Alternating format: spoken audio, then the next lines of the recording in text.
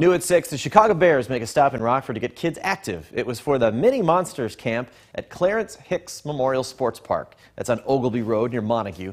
This was the fourth year for the event. Children were able to do passing, running back, and defensive drills. The Bears held giveaways and provided equipment. Rockford police were also on hand to build relationships and trust with kids in the community. They're used to seeing officers, you know, when they're working, when they're in their squad car and they're in their full un uniform. Today they get to see them, you know, being big kids themselves and having fun.